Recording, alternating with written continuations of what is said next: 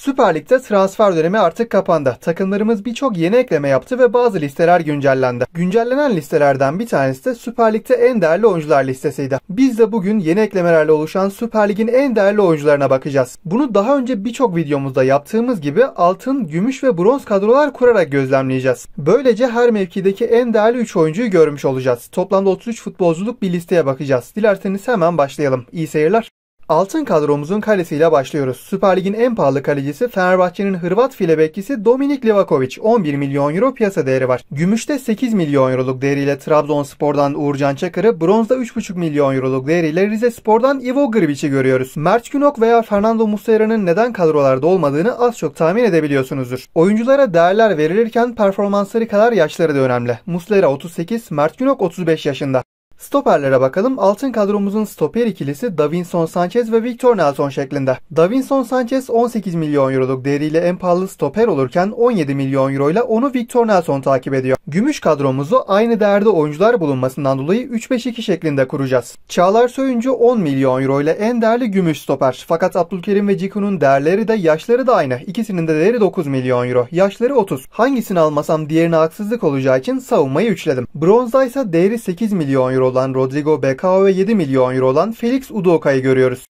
Sağ beke bakalım. En pahalı sağ bek Fenerbahçe'nin Nijeryalı futbolcusu Bright Osayi Samuel. 8,5 milyon euroluk değeriyle bu anlamda zirvede bulunuyor. Gümüş'ün sağ ve sol beki yok. Oraya videonun ilerleyen kısımlarında geleceğiz. Bronzun sağ ise yine Fenerbahçe'den Mert Müldür olacak. 6 milyon euro piyasa değeri var. Bu arada Galatasaray'ın yeni transferi Elias Yelert'i soranlar olabilir. Yelert 9 milyon euroya transfer edildi ama güncel piyasa değeri 5,5 milyon euro. Bu anlamda Mert Müldür'ün gerisinde kaldığı için kadromuzda bulunmuyor.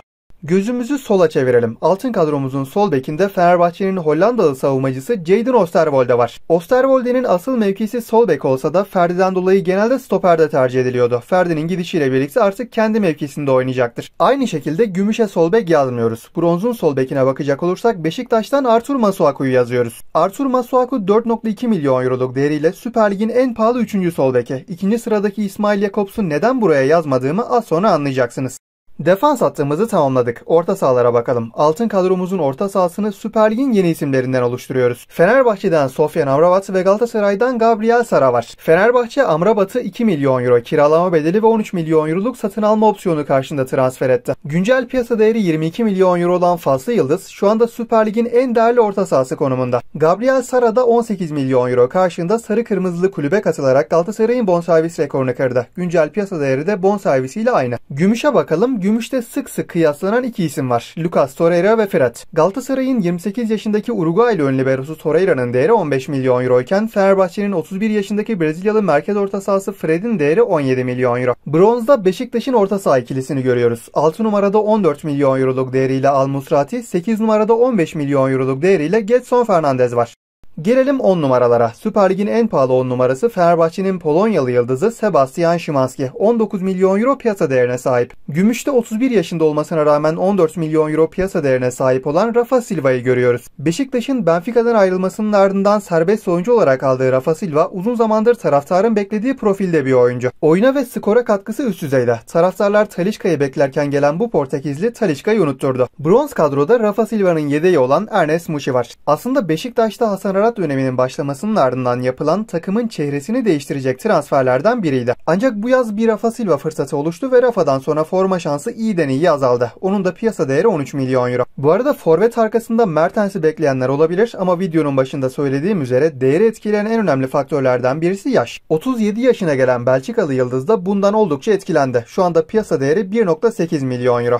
Altın ve bronz kadromuzun kanatlarına üçlü tercih ettiğimiz gümüş kadromuzun da kanat beklerine geldik. Altın kadromuzun sağ kanadında Barış Alper Yılmaz var. Galatasaray'ın alt lig takımı Keçiören gücünden transfer ettiği Barış Alper ilerleyen süreçte üzerine koyarak hem milli takımda hem de Galatasaray'da 11 oyuncusu olmayı başardı. Bek, santrafor ve her iki kanatta da oynayabilen 24 yaşındaki oyuncunun piyasa değeri 20 milyon euro. Gümüş kadromuzun sağ tarafında Galatasaray'ın yeni transferi Roland Salah'ı bulunuyor. Galatasaray üçlü sisteme geçeceği için uzun bir süre kenar orta saha olarak oynayabilecek olabilecek oyunculara baktı. Hatta Nikola Zalewski için büyük uğraş verildi. Oyuncuya defalarca teklif yapılmasına rağmen kabul görmeyince transferin son gününde Roland Salahi'ye gidildi ve bu transfer bitirildi. Bundesliga ekibi Freiburg'dan transfer edilen 27 yaşındaki Macar futbolcunun güncel piyasa değeri ise 15 milyon euro. Bronz kadromuzun sağ kanadında Fenerbahçe'den Cengiz Ünder var. Cengiz Ünder geçtiğimiz yıl yabancı kuralından dolayı 15 milyon euroluk bir yatırımla alındı. Takıma katıldığında piyasa değeri 20 milyon euroydu. Ancak o dönemlerde hem İrfan çok formda olması hem de sakatlıklar dolayısıyla pek fazla forma şansı bulamadı ve güncel piyasa değeri 14 milyon euroya geriledi. Cengiz'i yedek bırakan İrfan Can neden kadroda yok diye düşünüyorsanız İrfan Can 29 yaşında ve bu sebeple piyasa değeri 10 milyon euro olarak gösteriliyor.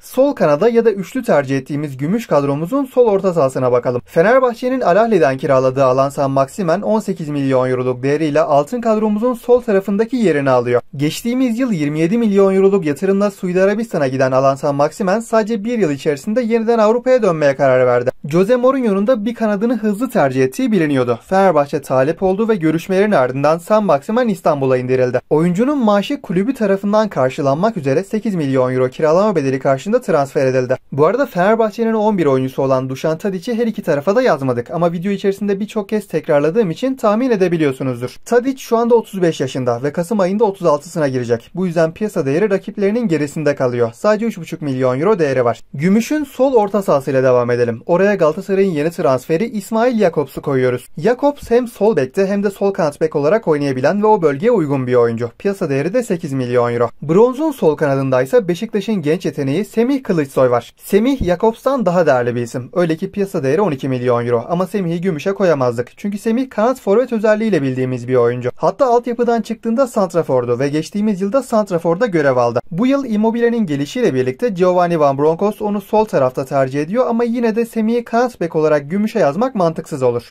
Son olarak gelin santraforlara bakalım. Süper Lig son yıllarda özellikle hücum hattında görev yapan oyuncular konusunda kaliteyi bir hayli artırdı. Şu anda altın kadromuza koyduğumuz Victor Osimhen de bunu kanıtlıyor aslında. 25 yaşındaki Nijeryalı santrafor 100 milyon euroluk piyasa değeriyle açık ara Süper Lig'in en değerli oyuncusu konumunda. Kendisinden sonraki en değerli oyuncu Amrabat ve Amrabat bile Osimhen'in dörtte biri kadar değerli bir oyuncu değil. Ayrıca Osimhen Süper Lig'e gelmiş en değerli oyuncu rekorunu da kırdı. Daha önce 9 haneli değere sahip bir oyuncu transfer edilmemişti. Transferi ise tam bir fırsat. Osimhen gibi bir oyuncunun Paris Saint Germain ya da Chelsea gibi üst düzey Avrupa devlerine transfer olmasını bekliyorduk. Ama beklenilen bu transfer Napoli'nin 120 milyon euroluk beklentisinden dolayı bir türlü gerçekleşemiyordu. Transferin son günlerine gelindiğinde Napoli satamayacağını anlayınca geri adım attı. Söz konusu beklenti 60 milyon euroya kadar düşürülüp hem Chelsea hem de Al Ahly kulübüyle anlaşıldı. Ama bu defa da Osimhen gitmek istemedi. Elinde Lukaku'yu da bulunduran Napoli Avrupa'da transfer döneminin kapanmasının ardından her ne olursa olsun Osimhen'i göndermeye karar verdi. Hatta gitmeseydi oyuncuyu kadro dışı bile bırakacaklardı. Bu esnada devreye giren Galatasaray bir gün içerisinde hem oyuncuyu hem de kulübünü ikna ederek Süper Lig tarihinin en büyük transferlerinden birine imza attı. Gümüş kadromuzun forvet ikilisi Fenerbahçe'nin yeni transferi Yusuf En-Nesyri ve Trabzonspor'un yeni transferi Simon Banza şeklinde. Fenerbahçe'nin 19,5 milyon euro bonservis karşında aldığı Yusuf En-Nesyri'nin güncel piyasa değeri 20 milyon euro. Trabzonspor'un 2 milyon euro kiralama ücretinin yanı sıra 25 milyon euro opsiyonla takıma kazandırdığı Banza ise 18 milyon euroluk piyasa değerine sahip. Son olarak bronz kadromuzun santraforunda ise Mauro Icardi'yi görüyoruz. 31 yaşında olmasına rağmen 17 milyon euroluk piyasa değerini koruyor. Tabi ülkemizde bu 4 futbolcu dışında kadromuza yazamadığımız birçok kaliteli santrafor da var. Örneğin Ennesiri transferine rağmen formayı kaybetmeyen Edin Dzeko 38 yaşında olmasından dolayı sadece 2.7 milyon euro. Galatasaray'ın Fenerbahçe'den ayrılınca transfer ettiği Batshuayi'nin değeri 8.5, Beşiktaş'ın tecrübeli golcüsü Immobile'nin değeri 4 milyon euro. Ayrıca Göztepe'nin transferin son gününde Chelsea'den kiraladığı David Datro Fofana'nın değeri 12 milyon euro.